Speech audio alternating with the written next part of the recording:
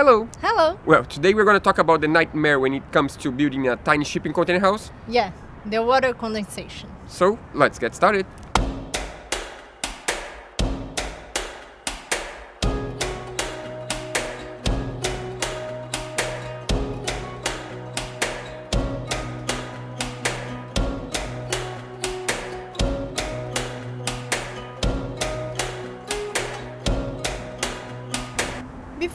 Start this episode, we need to explain the dynamic behind this episode. Well, today is to be a theoretical episode. We're going to basically talk about everything about condensation problems in a shipping container, in a shipping container house, in a small, you know, living space. And next week we are to actually put this on practice and next week we're to build the solution we talk about today. So, what's the reason for that? I know you guys must be expecting us to have a building episode and to install the ceiling panels as we promised last week, but unfortunately that didn't happen. Yeah, and we have a reason for that. After we posted the last episode, a lot of people had comments on the section below about the problems with condensation that we might have. Yeah, a lot of people are worried that the solution we showed is not good enough for the condensation and, that, and they're saying that we would still have condensation problems we kind of disagree we agree but we were not like happy with you know like 100% with our solution but at the same time we didn't agree 100% with the comments until we received a picture. We have a friend that just bought a shipping container like a month ago in our city in the same place we are on the same climate we are and he sent us a picture like four days ago maybe five days ago showing the amount of condensation that he just had during the night and asking if we had a solution for that and that's the picture. Yeah, the picture you just saw is our friend's shipping container, and to be worse, it's on our city, on the same weather we are. So we got scared. Yeah, the scenario here is a little bit different to our friends. Even though our friend is in our the same city, he has a oh, the roof of the shipping container has nothing on the top. It's just a bare roof, and that means that the cold weather is straight on the roof in our case, I don't know if you watch, but we have like a whole playlist about the, we did tons of things on the roof, so you can watch here if you did it. And we have a wooden deck on the top, and underneath the wooden deck we have a aluzinc sheet uh, roof, and underneath of that we have like a five centimeters of EPS styrofoam, and then we have a five centimeters gap, not even five, like four or five centimeters gap in between the styrofoam and the roof of the shipping container, and we painted the roof with asphalt paint, that's another rubber paint. That means our roof, our plate, won't get as cold as our friend's plate. But before we start talking and talking, let's explain what's condensation. Condensation. So basically, condensation is when water on the vapor state becomes water on the liquid state. It's the transition between vapor and liquid. So a little bit confusing, right? Yeah. uh, a situation where most of the people have experience in its condensation is when you are in a car on the winter. So remember when you're driving the car on the winter with five people inside. You have no the windows. five, but yeah, but just let's get like a, even worse. You know, a lot of people. So basically, you have the windows closed because it's cold outside. So outside of the car it's really cold. On the inside of the car with five people breathing, the air is hot and the air is humid because you know when we breathe we create water. There are a lot of water on the air we breathe, right? So when this uh, hot and humid air touches the cold window of the car, creates water. Basically, the water that was already on the air becomes liquid instead of vapor. And you, you, you have seen that before, right? The windows or, are all or, covered on water. Or the can. If you get a, a yeah, can of the same thing drinks. happens with beer. Who drinks beer? You know, the can is really hot and the soft drink. yeah, it doesn't. Yeah. A can of drink, it's really cold and the air is really hot, and then creates water around the can. It's the same principle. So, but let's go back to the car. When you are in the car and the windows are all condensated, once you open the window, what happens? It goes away. Yeah. So in the shipping container is really similar. Let's think about think about that. You have a box made out of steel, right? And they still at night during the winter is really really cold and you have people living inside and these people cook these people breathe these people take showers all that creates humid air, hot humid air inside of a cold box. What does it happen when the hot humid air touches the shipping container? It condensates and creates water just like the picture of my friend's shipping container as I showed you. So that's what happened with the shipping container when there is hot inside and cold outside, right? So what's the problem with that? Yeah, basically in our case, for example, we are gonna have plywood walls and plywood ceiling. And that means that if happen to have a condensation inside, the condensation is gonna be trapped in between the wall and the shipping container and between the ceiling and the shipping container. In this case, it's gonna take a while until we realize we have water inside of our walls and that's tough. Because if we have water inside of the wall, that means that water plus time equals Mold, mold plus time equals health problems, furniture problems, and so a lot of problems. damage everywhere. So somehow we need to fix the problem. and We need to avoid having water inside of our walls, right? So what did we do this week? Searching and searching and searching. yeah, we spent like two days searching, and Yeah. Yeah, we took a break of building just to search. So we search on YouTube, we search on Google, we search on forums, we read the comments. we write the comments, we talk to our some of our subscribers, we call stores to search for new materials, all this kind of stuff. So one of our subscribers seems like he knew what he was talking about, right? His name is Robert, he's from Canada. Really different weather compared to our weather, but still he knows what he's talking about. And Robert said that he thinks we should use closed cell spray foam. But We don't have it here in our city. yeah, we do agree closed cell spray foam would be the perfect solution. Why? Because It would be glued to the plate of the shipping container, so we won't have any air around. So yeah, basically no the, air, no water. yeah, the thing is uh, insulation is a way, any kind of insulation is a way of creating a, a transition area in between the cold and the hot inside. So the outside's cold, there's insulation and it's hot, it's Any kind hot of inside. insulation. So basically, the cold will never touch the hot. There is this, you know, gap in between them that is the transition area where the cold becomes hot slowly instead of quick, and that's where you won't find condensation because it's it's, it's it slows down the transition between cold and hot, right? If we use fiberglass wall that still has air in between the plate and the insulation, that means that the water can condensate in between the insulation and the plate, and there would be a mess And because if they spray foam, it would be like sealed. So yeah, basically the won't have any spray foam you guarantee that there is no gap in between the insulation and the shipping container, and that would be the perfect scenario because you you just won't have condensation, right? yeah, but we don't have this Yeah. here. So The thing is, you the perfect scenario it's not always possible, and in this case, it's not possible at all. Basically, so you understand what you're talking about. We are in the south of Brazil, and in in Brazil in general, we mostly build using Masonry? masonry. I think that yeah, that's the name. Brick- yeah. so basically, when you use this kind of material, the wall itself can breathe. The wall can absorb humidity and can take away humidity depend on the weather. So in a humid day, the wall the wall is wet. In a dry day, the wall dries itself by itself. And so the bricks kind of uh, insulation. yeah, so the wall itself it's an insulation piece, you know. So we don't use insulation, so we don't have available most of the kinds of insulation as other countries has. So we, I mean, we have like PET wall if you want. We have fiberglass wall, Rock wall. rock wall, and that's it. That's all we, we can use. We don't use we don't have closed cell spray foam And at all. Oh, and we have EPS. So first suggestion this comment said was to glue the EPS on the top of the shipping container. We have two problems on that with that.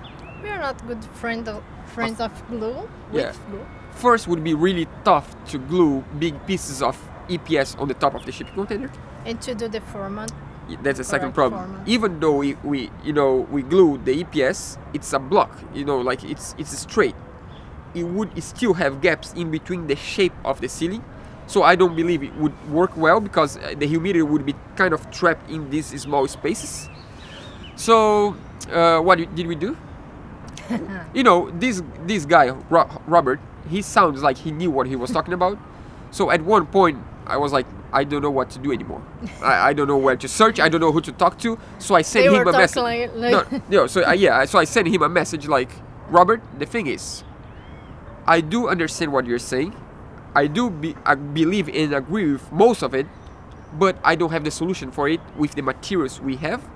So if you're willing to help us and willing to have a bigger conversation with me, we can have a Google Hangout that's like an app, and we can talk personally until we get the solution. Person, yeah, not person. Yeah, we can talk like live, but by distance. Yeah, he's in Canada, really far away. I mean, like I don't know, ten thousand kilometers, maybe more away.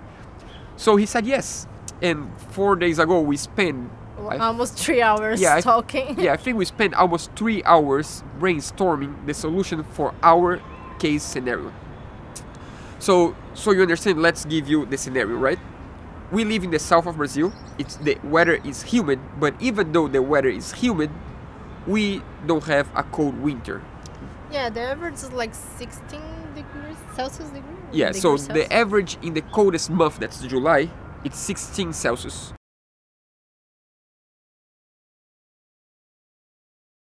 So that means it's not that cold. Yeah, like today, it's the but coldest. for us, it's really, it's yeah, we're really, really cold. cold today actually. But I mean, for some people it's not cold at all. But for us it's really cold, and we don't have available most of the insulations you would say we could use, right?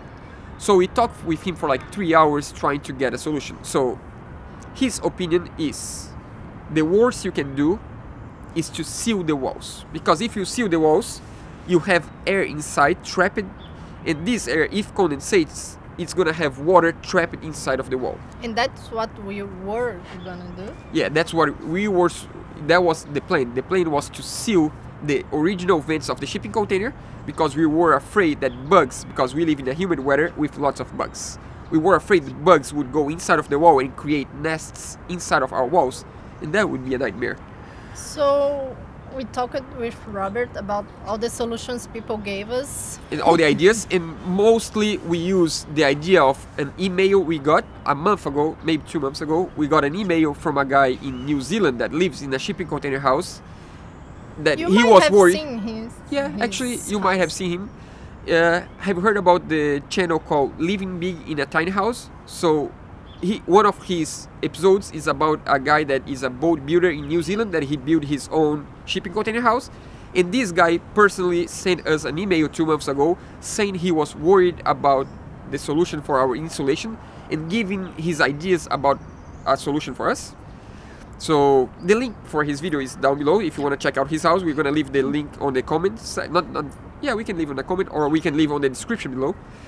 So basically, what he said is that you can never, close the yeah, you can never, you can seal the wall, but you can never touch the insulation on the plate. You need to have an e space between the plate and the insulation, so the air can flow in and you need to leave the the vents all Yeah. open. Yeah, that's the that's the difference because like if you leave a space and you seal the walls and the shipping container, then there's a problem.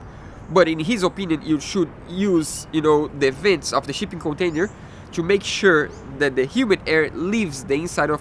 So basically, he said that you need to have a gap in between the insulation and the wall, and this gap needs to be connected between the wall, the ceiling, and the other wall. So it's like a big airspace behind the insulation and that you need to leave the vents open otherwise you will have a problem We were afraid of bugs. yeah in the so yeah that, when he sent the email we were like uh, i'm not sure about the, this solution because he has not that many bugs in new zealand problem but we do have a lot of bugs ants and spiders and all sorts of things. And then for a while we are like no we're not going to leave open for sure. But after we talked to robert we told his idea and mixed all the ideas together and we came up with the solution. So the solution is? To to put a net on the the vent to avoid bugs and to leave this open to have the airflow. and to seal the walls. Basically, we're gonna seal the walls, but we're gonna just as she said, we're gonna put the net so we make sure even though the walls are sealed, we have this airflow behind the walls. So we are gonna uh, we are gonna paint the ceiling with uh, that's this, rubber that, that's paint. an evolution of the solution we create with Robert. After we talk to him, we talk to the store, and we eh, even as we don't have insulation uh, closed cell spray foam, we were trying to look for something similar. Of course, not as good, not even close. just but to seal the, the ceiling and Yeah. to avoid the, the difference of the temperature. yeah, basically we just want to warm it up the plate of the shipping container. There is a kind of paint that here in the can they even don't say paint, they say rubber. Basically, it's a rubber. It's uh, an undercoating. Yeah, it's undercoating they use on the bottom of cars. So basically, it's a thick uh, rubber layer, and we believe that if we paint the inside part of the shipping container with this layer, we will somehow slow down the transition between the cold plate and the hot inside. But the inside of the wall is actually not gonna be that hot anymore, as we are gonna have it open to the outside. So basically, we're gonna have like a, let's say, a air layer that's not as cold as the outside and it's not as hot as the inside is a middle term. And this i think we believe is going to help to you know bring this transition down like um how do you say that?